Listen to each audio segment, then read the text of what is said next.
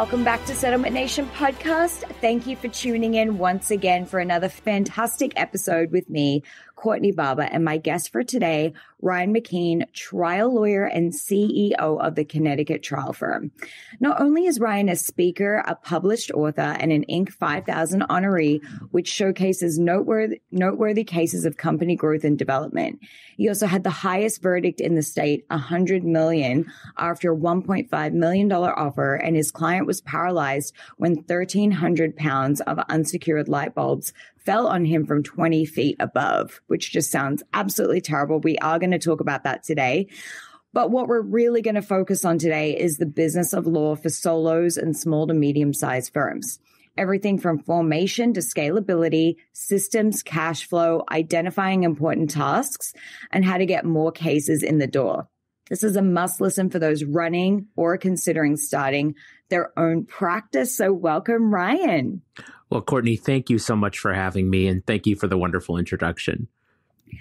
Oh, well, I am really excited, Ryan, because I am a big entrepreneur from the past. I love anything to do with business. And the fact that you really focus on business excites me. For everyone who doesn't know, I actually heard Ryan speak at a recent uh, financial planning conference, and he had one of the best presentations of the whole thing because he actually spoke about actionable items that not only financial planners, but you know, lawyers can actually take to help and grow their businesses. So I'm very excited to dive in, but I want to start off First, I read in your bio, which I find really fascinating. You had a different experience to many attorneys starting out. You were actually hurt in a car accident and then experienced being on that side of the way that insurance companies treat people who've been injured. Let's begin by talking about that experience.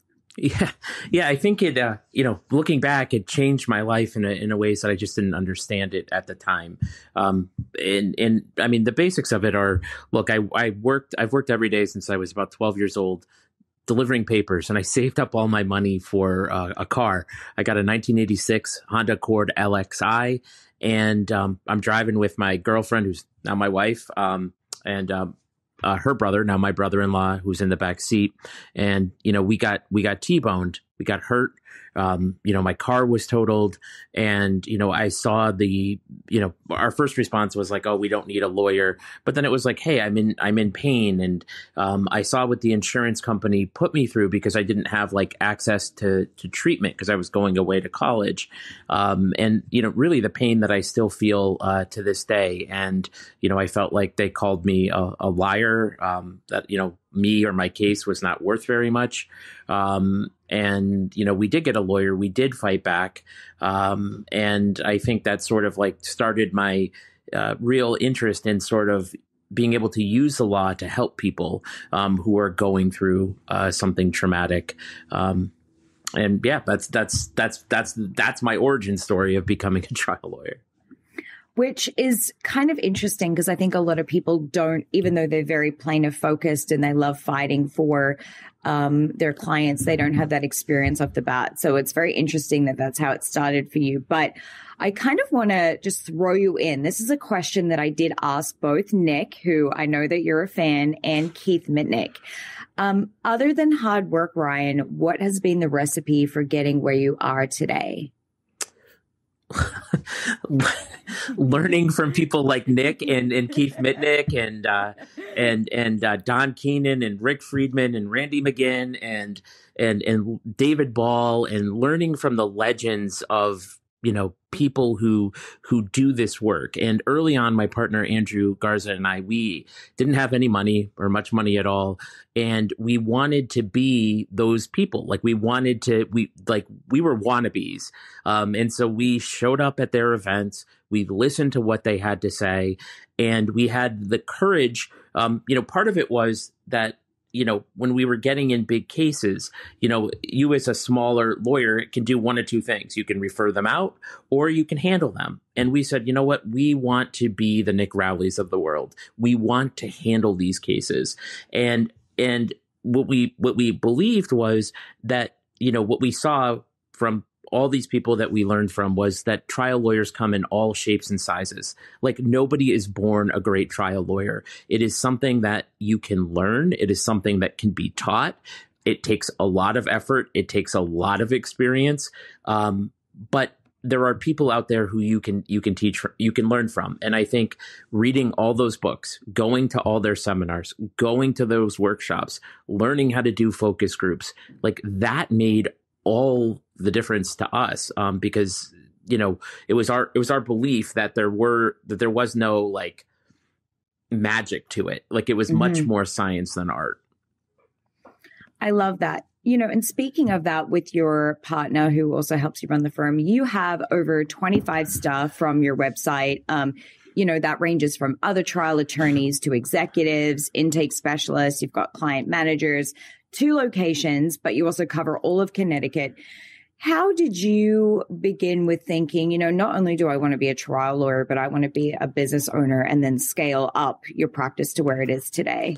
Well, what what really happened was we we knew that if like we knew for us that w- the only way we could do great trial work was to have a great business. And actually, right now we're like there's people not on our website. There's like thirty. There's like thirty five of us at the moment, um, and, and and growing. Um, um, so so you know, we we realized that we needed a business to su- to support our dreams of doing great trial work, um, because if you if you didn't have your sort of you know to me the enemy you know the great enemy of the trial lawyer is disorganization.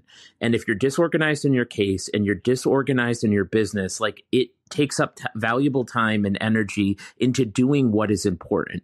Um, so we said look we want to be both fantastic at the trial work and we also want to be both fantastic at the business side of it because those two things um, are are not exclusive. Like they they they they complement each other um, and so what we did is we you know we set out a, a, a vision uh, for us which was you know we didn't have a case worth a hundred thousand dollars really looking and we said we want to be the best trial firm in connecticut and we said you know what in order to do that we need a we want to get a $10 million jury verdict. Like that was our sort of obscene goal at the time. And, you know, in order to do that, like you, well, you know what? You need to build a team to do that. You need to get financial things in order. You need to get the case in the door. You need to sign up the case. You need to process the case. Um, and you need to stay alive because when you get a huge case in, um, you know, you can go broke trying to get it to verdict. Um, right. So all of those things, you know, came into clear focus of we want to be excellent in the courtroom, excellent in business because because they're they're they're really one and the same thing. You're so right. Actually, one of our most popular episodes um, going back, it was last year. It was actually business growth with Bob Simon, who's a big attorney out of California, because I think you know a lot of our listeners they're they're solos, they're business owners, and that's a lot of the questions I get asked the most is they want to know how to go out on their own, you know, leave a big firm and start their own business. They don't know how much money they should start with, when to hire people, how to set it up, and what's most important to focus on. And what I really liked is you did a post recently for everyone who doesn't follow Ryan on LinkedIn. We're going to have his LinkedIn at the bottom of the episode in the show notes because he puts so many gems out there that he should be charging for, and they're all free. This great advice. But one of them was um, how to scale a law firm with not much money. And you said there are four things that people should be writing down at the beginning of the week to really focus on. So I want to go through each of those four things. I'll read them out and I would love if you could elaborate for the listeners because they maybe have not seen this great post. Um, and the first one that you had was how am I going to make money this week? Yeah, um, because look, I mean, I I started my law firm with twenty five hundred dollars. Like, I don't come from money. We never even in this firm, we never borrowed money to get to where we wanted to be. So we, we didn't have any cushion. Um, you know, uh, uh, my wife was uh, at the time, you know, uh, she was home with the kids, so it was like all all my income. So I, I you know, the, the financial pressures are are are acute, and the reason I say like, well, how are you going to get money this week? It's like you can't delay that. Like you can't ignore that because if you don't have money, you can't pay your rent, you can't pay your experts, you can't pay your malpractice, you can't pay your mortgage, and that puts immense pressure on you. Um, so you need to look at those things that like, well, okay, how am I going to make a thousand or two thousand dollars this week just to stay to, to stay afloat um, and not ignore them. Um, uh, because you you constantly um, you need some you need to figure out cash flow and you need to have cash um, and you need to keep it coming in. Um, so that's why I, I phrase the question: What am I going to do this week? Because a lot of times with solos or small firms, there could be a tendency of like, well, hey, you know what? I've got a bigger case, and you know it'll settle maybe next month, and we've got a mediation, and maybe that'll be a thirty thousand dollar fee okay but then that mediation gets continued. Something changes in that case. Um, and then you have a credit card bill and rent due. So it's like what am i going to do this week to get some money in the door in my pocket? And that's great because I think exactly as you said, a lot of people they have ideas of what they think might come in the future, but if that doesn't happen, you know, we know a lot of things get continued or moved. You can really put yourself in a very stressful situation, um, which leads to the second point that you had, which is what files will pay me more in the future. Yeah, I mean, and, and so I mean, look, in any any practice, whether you're personal injury or you know, I mean, real estate divorce or whatever, you have you you probably have a mix of cases. Um, so you have cases that that are that are sort of bigger and bigger cases. And so if you're working on all the things of well, I need to get paid this week, you can be backburnering the case that's really going to make your profit for the year. And so you want to be working on some longer term, higher value projects, even a little bit every single week because really like that's what's going to make the difference between you at the end of the year having profit and having not. Um, and so when we got our paralysis case in you know one of the things that we did was we're like okay we, we need to try to isolate this case because we need to be constantly working on it because this case is an absolute difference maker for our client, for our firm, uh, for our future. And we need to create the space to work on that case and work on it every single week. Um, because the sooner we can move it, the better it is for our client. And ultimately, the better it is for, for the firm as well. That's fantastic. Now, the next one is what can I stop doing? Why is this important for people to figure out what they should not be doing? Because the, the great trick in all of this, and it's it's it's sort of a hard switch to flip, and it was really hard for for us. Um, which is that the at least for me, the instinct was always just grind harder, grind, grind, grind, grind, grind, grind, grind. Um, but you can grind yourself down, um, and also you can do a lot of work that you you you in fact shouldn't be doing. That's robbing you from doing higher value work.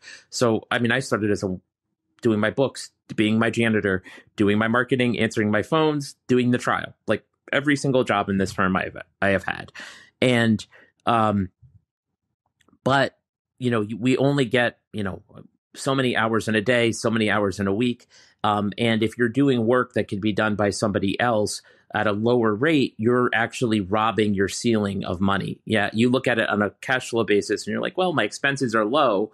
But yeah, your top line number is also going to be low mm. because you are constantly robbing your business and robbing yourself of cash.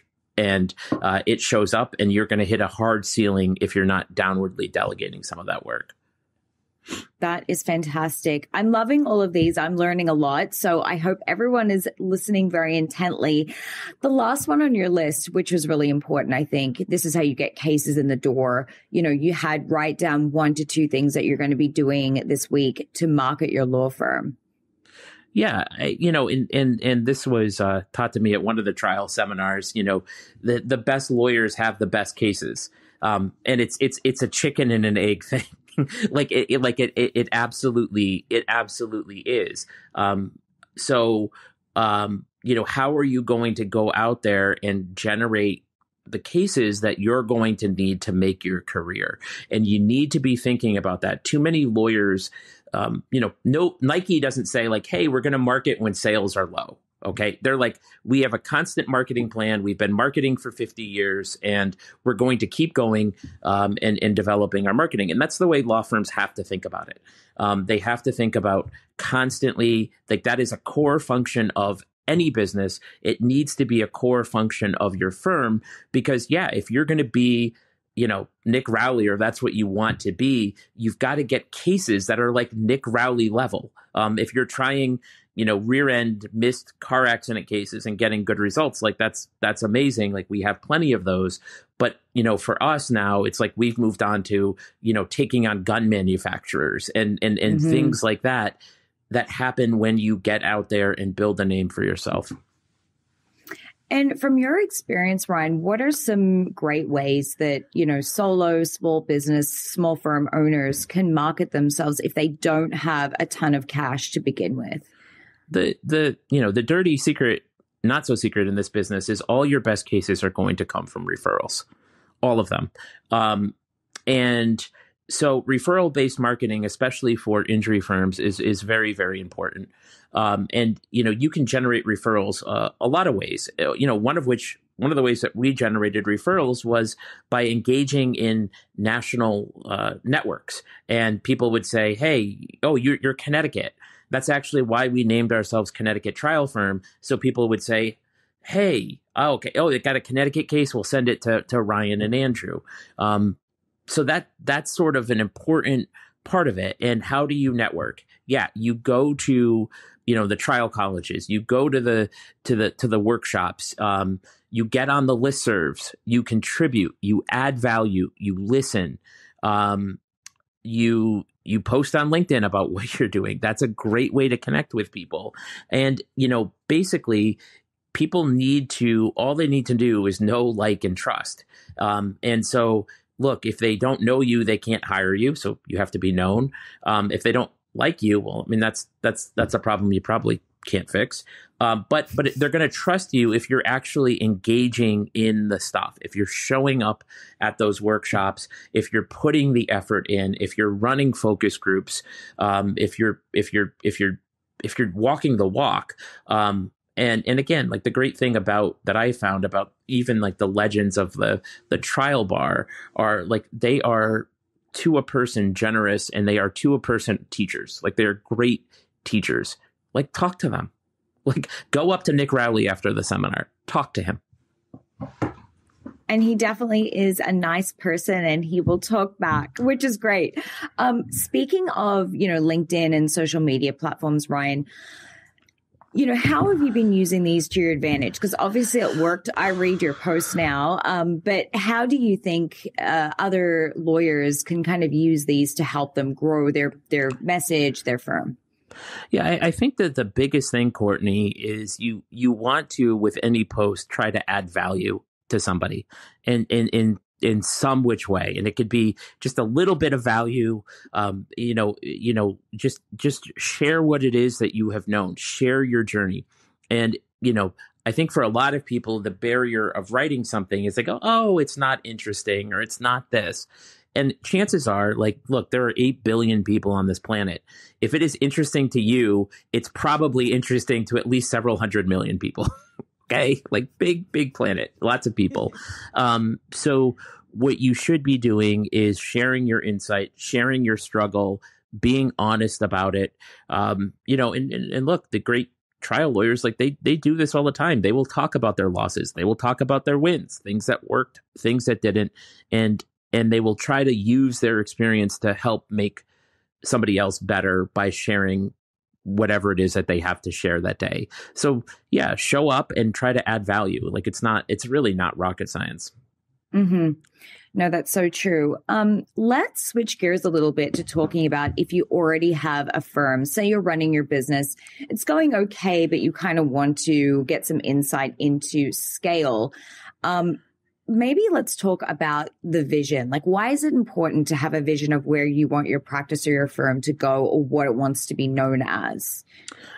Vision is the most important component to this because you have to accept if you're a law firm owner that or a lawyer that growth is a choice. Like it is absolutely a choice. It does not happen by accident.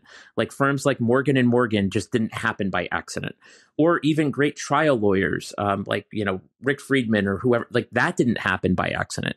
Like they set out and they said, "I want to do this," um, because when you say when you when I when I teach this, I'm always saying like it's it's no different than a vacation. And if you just say, "Hey, look, I want to have a I want to have fun," well that that's sort of like meaningless and aspirational. But if you're like i want to hike um, in patagonia and okay like you can start budgeting for it. You can start saying, I need this kind of gear. I need this kind of plane ticket. Here's when to go. Here's who's going to go with me. Here's how I'm going to physically train for those hikes. Uh, here's how I'm, you know, you can start working backwards and then engineering it. But if you don't know where you want to go, like you're just going to float around. You're not going to get anywhere. So I think you need to be honest about what it is that you want to do. And I'm going to suggest that to anybody that our our goal of building of a $10 million verdict is very different than if I said, well, I want to have a caseload of a thousand injury cases. Like that that's a different firm. That's a different focus. And if I want a caseload of a thousand, maybe I don't spend money to go to uh, a trial institute, or I don't care as much about focus groups and those things. And I care a lot more about marketing and churning files. Fine. But you have to know what it is that you want to do. And I would say that the very best people at business that I have come across, whether it's law, injury work, outside of law, they have the clearest visions of what they want for their firms, their futures, uh, and right. really themselves. Yep. I love that. And I think vision is so important because you have to know where you're going and what wall to put your ladder on. Um, but you probably are a big proponent of systems. I can just tell but by the way that you run your firm and how you're all set up. Let's talk about building out systems next to something that's really important when you are running a business. Yeah, I mean, look, every every business has systems. Um, you can't operate in the world without systems. The question is whether or not you write them down. Um, and it's the act of writing them down and making the videos and constantly creating and revising and not thinking about things as like a one off thing. It's like, you know, there are systems for trial there are systems for signing cases there are systems for marketing and they they can always be improved they can always be tweaked but you have to have um, a culture of thinking about problems systemically um, mm-hmm. and thinking about opportunities systemically. Uh, so what we did is we created um, before we even had an employee, we started creating a, a giant private Wikipedia that had all of our stuff. Uh, we use you know Filevine for case management systems that when it was just me and Andrew who started and we started building out the task flows that we wanted of how we wanted paralegals that we didn't have to work. Um, and so, what you're trying to do is you're trying to set your team up for success. Um, and you're also buying yourself as an owner time, uh, so that way you know you're not constantly in meetings uh, trying to convey knowledge that should otherwise be conveyed pretty easily. And on that one, you know, that point you just made about your team, you'd said to me before as like something that was really important to cover, which I absolutely love, which is about your culture. Did you set out to have a specific culture maybe when you started the Connecticut trial firm or how did you think about what you wanted it to feel like when people have an experience with you? Yeah, we, you know, culture is just in my my definition of culture is just culture is what you do. And, you know, one of the things, Courtney, anybody who should take from me or this podcast is you have to be intentional about things. Like if you are if you are if you are intentional like you can make anything happen. And if you are unintentional about it like you are just drifting through life and things will happen to you. Um, so we wanted a culture of excellence. Uh, we wanted a culture that was very um, transparent very compassionate um, very team oriented. Um, and so we sought to create that culture uh, teach that culture ingrain that culture, systematize that culture, reward that culture, and prune that culture if somebody was not a fit. Um, and mm-hmm. so that is something that we have created intentionally because all the vision, all the systems, like, you know, the people who say culture eats everything, like they are correct. And, um, you know, so you need to be intentional about what you want your work environment to to to to feel like what you want your people to do, what you want strive, what you want to be striving for. Um, and you know, uh, you know, I, I think you you once you start looking for those things, and once you've established it, Courtney, the greatest thing that happens is people will seek you out. Like if your message is out there, they will say, "I want to come work with you." Um, that is almost every hire we make right now, which is people who solicit mm-hmm. us because they're like, I see what you're doing. I, I, I see you on social media. I see your results. I want to be a part of this team. I want to play for this team. That's what you want. Like that is to me the greatest sign of cultural success.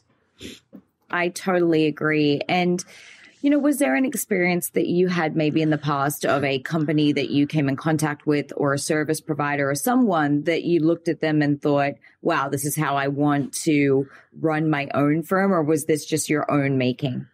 Yeah. Oh no. Geez, no. Um. There. I mean, there were so many examples of it. Um.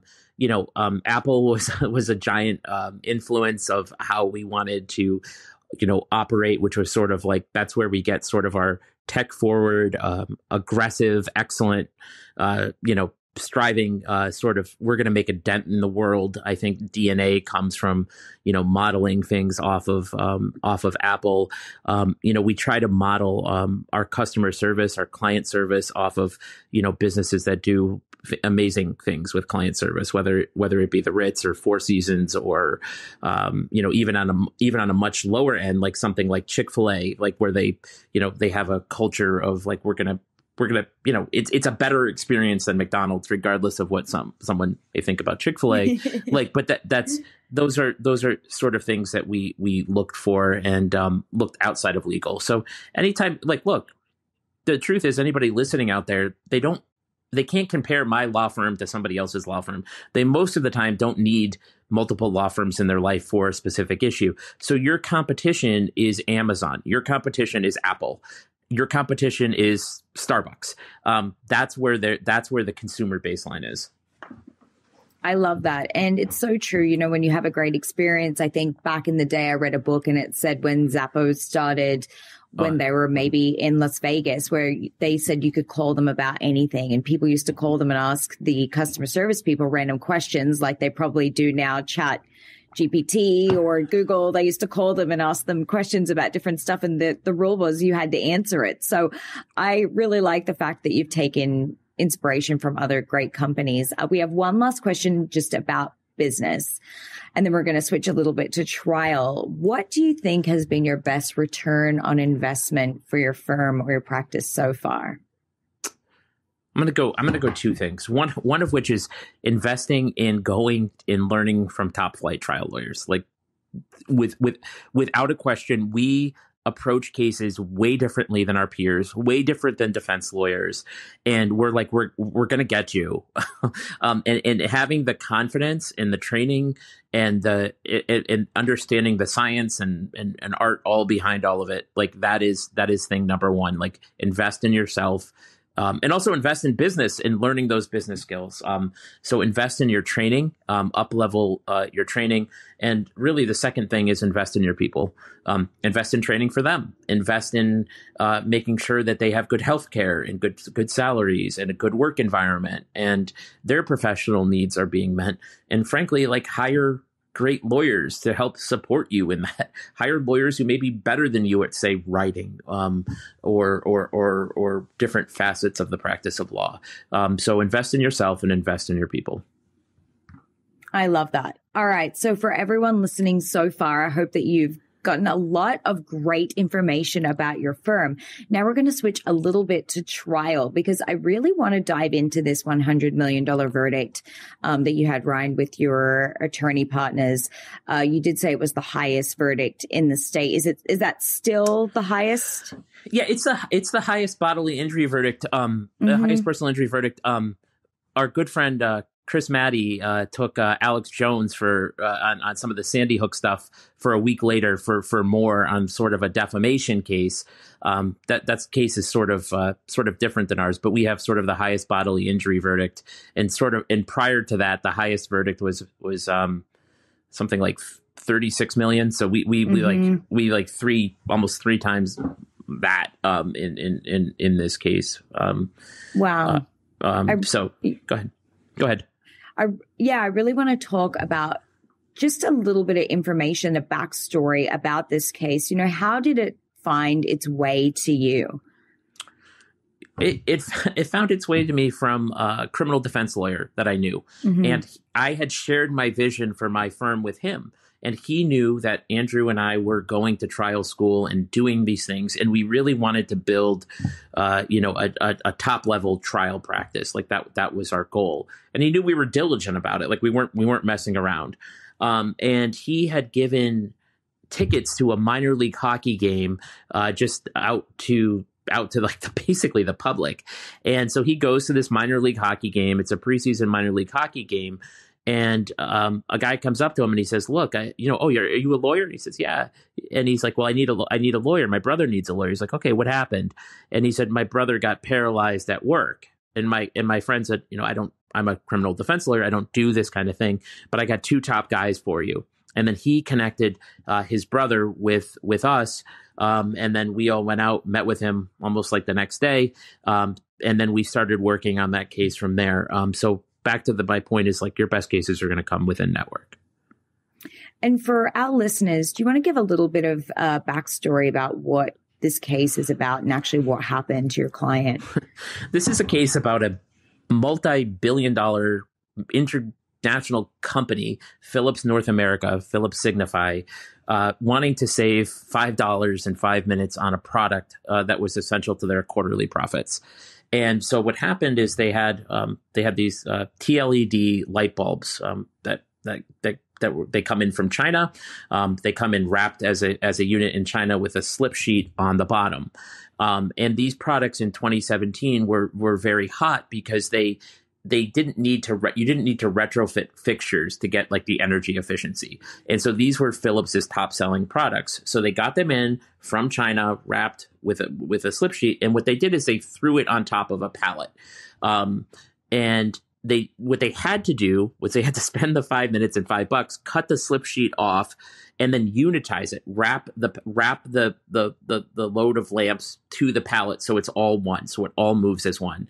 They don't do that. They stick it on a pallet. They ship it off to um, our clients. Uh, our client works at a, a at a distributor, um, Rexel, um, which is a major distributor of light light light bulbs, and they sell light bulbs to electricians and all, all sorts of things and so they they ship it right out. Um, and what happens is Rexel gets the package in, they put it up on a, on a rack about 20 feet high, and it sits there. Uh, that comes in on a Thursday, um, and on a Tuesday, my client is going to pick an order. Um, and he's you know he's working for a customer and and somebody on a, a, a, temporary worker on an adjacent aisle goes to try to lift up a pallet uh, to get to get something down and it and it it, it, it clips the the the lamps that Philips didn't wrap a little bit, lifts it a little bit, and it, the slip sheet causes it to just fall onto my client about 20 feet high, about 1,300 uh, pounds of lamps, uh, rendering him uh, paralyzed from uh, the the navel down. Oh my gosh, that is just horrendous. Um, you know, what does it take, and how much time did it take to work this case up? It, it took us five years. Um, and it took everything. It took everything of of of five years to really work this up. It got a little bit delayed because of of COVID. Uh, we filed the case in early 2018, March of 2018. It ended up at trial in uh, September, October of uh, 2022, um, and it took uh, something like 40 plus depositions, multiple site inspections. Uh, you know, a dozen or so experts uh, animations it took it took everything to make to make this thing happen. Um, and um, a lot of diligence was you know done. My partner is an incredibly detail oriented person who loves to live in the weeds and he just lived in those weeds of packaging slips and uh, packaging regulations and a whole host of other things um, and and really was able to put together a you know a strong case strong factual case against them and what was going through your mind when the jury was out deliberating? Um, you know, what what was going what was going through my mind is, I mean, we we felt that it went in well, um, and we had we had jury um, watchers who were in the courtroom who were you know watching the jury for us. Um, the marshal was like, you know, you guys are gonna this is going to be a huge verdict. Um, so we we were feeling really uh, we were feeling really good about it. Um, but you know, any trial lawyer who who's been there, that you you don't know until you know.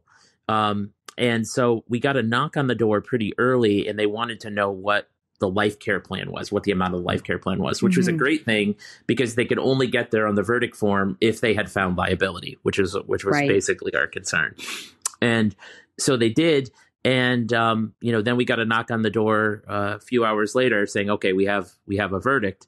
And they they all walk in and uh, they they hand over the verdict form to the clerk, who hands it to the judge, and the judge gets the verdict form, and he has like this complete poker face, complete poker face. Every judge in the courthouse, they knew this verdict was going to be big. They were sitting in the court uh, watching this. So we have a full courthouse, and he just gets it. And I start seeing him writing, and the judge is writing, and I'm like, he's making circles. I'm like, those are zeros. Like, I'm like, oh, that is that is a lot of zeros that this man is writing. And so he he starts writing it down and then the then he starts you know this, the clerk starts reading the verdict and it says you know do you find that Philips uh, signify adequately trained and it was like yes we do which was like we, we had three allegations of negligence training supervision and um, just basically the uh, training supervision and they basically didn't do it so they they found four Philips on the first one and then they found on the second one that we were right and they found on the third one that we were we were right um, and then they said, okay, economic damage is 15 million. And at that point, it's like, oh, that's a relief. And then they're like, non economic damages, $75 million. And I just started sobbing. Like I just like I just sat there because it was such a such a relief. And then they said, you know, loss of consortium damages, uh, $10 million. So it was a hundred million in that in that way.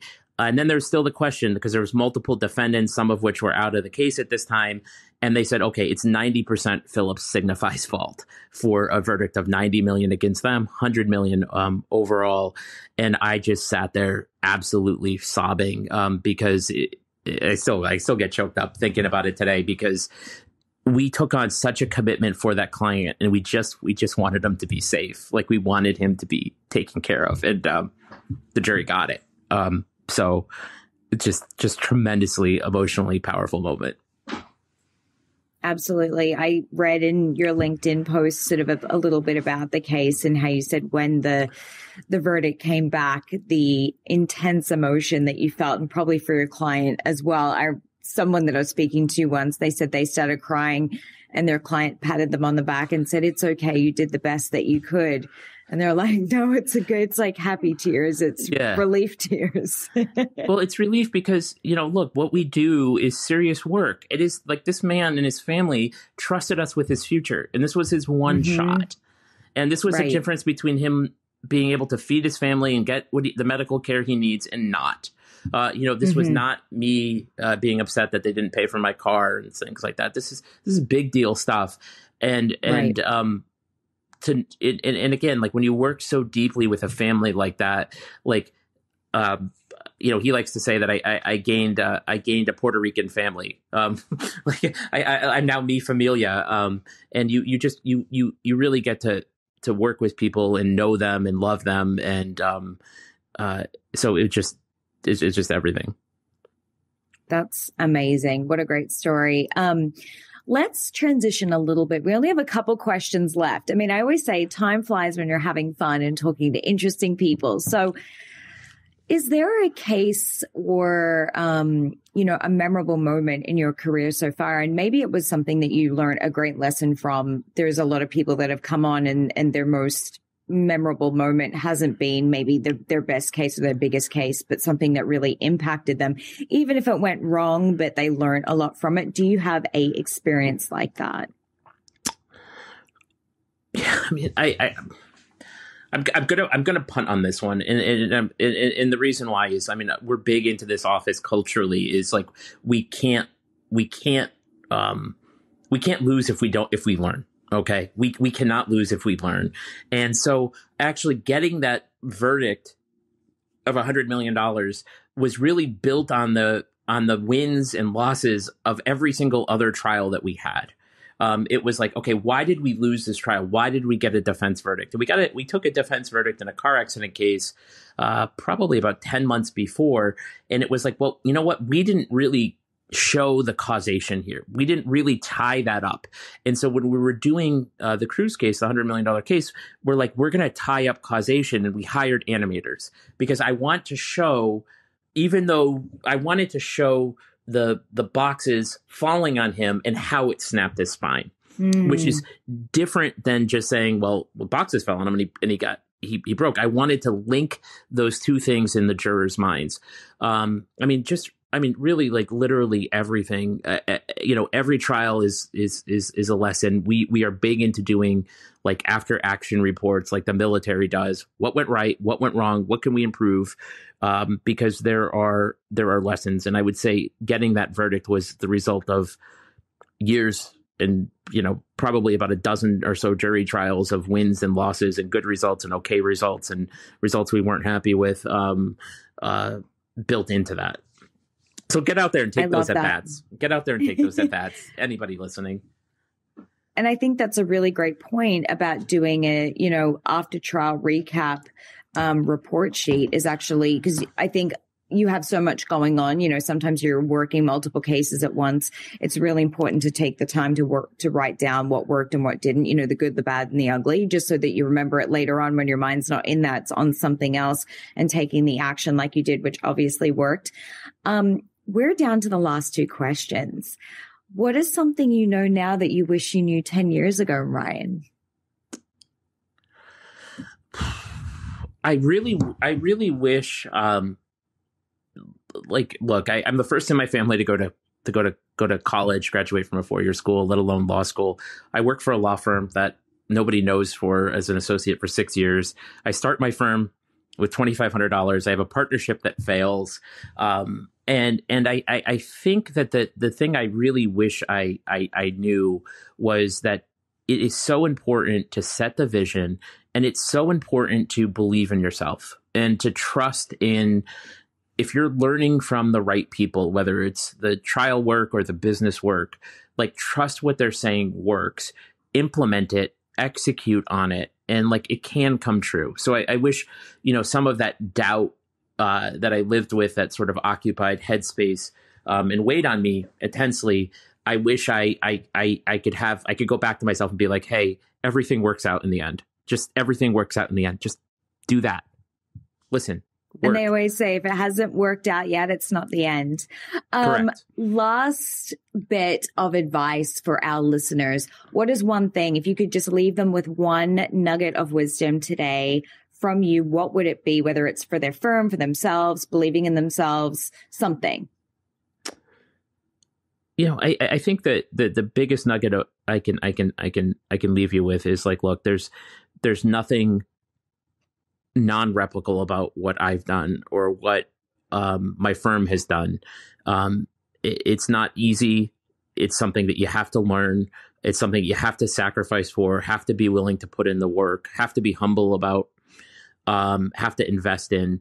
But like there's like I, like I like I said, I think the critical insight was like you know what there's like Nick Rowley's an amazing trial lawyer, but what he does, like, there's nothing magical about him, and I, I mean that in the, I mean that in the, as the deepest and most sincere compliment I can give, because it is, it is learnable, it is teachable, and the real power that you have is in the execution of it. So so most people some people they can go to and they can they can go to these seminars they can read these books and they can oh that's a good idea. No go out and do it. Get really really good at that thing and the opportunity will come and you will rise to the moment. That's that's if you take anything away from me like like you know it, it, your dreams are possible I feel very inspired. I'm sure everyone, by the time people listen to this, they're going to, I mean, they need to have their cup of coffee and get their morning motivation from Ryan. If they want to, you know, co-counsel a case with you, work with you, buy one of your books. I know you haven't, you're writing another book right now. Join your LinkedIn. This is the time to get all that information out. Plug yourself. Let's go. Yeah. I mean, LinkedIn is a great place to find me. Ryan McKeen on LinkedIn. Uh, you can, you know, if you're looking to co-counsel, you can send me a DM or whatever. Uh, Twitter at Ryan McKeen. Also, um, also great place. You can email me, Ryan at cttrialfirm.com. Um, you know, just just don't hesitate to reach out to me. Um, you know, I'm here. I'm here to help. Um, if I can add value, I I, I will. Um, and you know, we always are looking for opportunities to to help others and and and and grow and you know teach teach what we've learned. Um, uh, you know, happy happy to help. I love it. Well, Ryan, thank you so much for coming on today. I know this is going to be a really top listen to episode. People love the business inside, your motivation, your stories. I think we may be having you back on again. I'm, I'm going to get that question, I'm sure, after this goes live. For everyone that listens to Settlement Nation, thank you so much for tuning in. Like, comment, and subscribe to your favorite trial lawyer podcast. If you love Ryan, send him some love. He is a great guy, and I'm sure he will, you know, put some more cool stuff on LinkedIn now that we're pushing it out there. But uh, we really appreciate you coming on the show, Ryan. Thank you. Thank you, Courtney.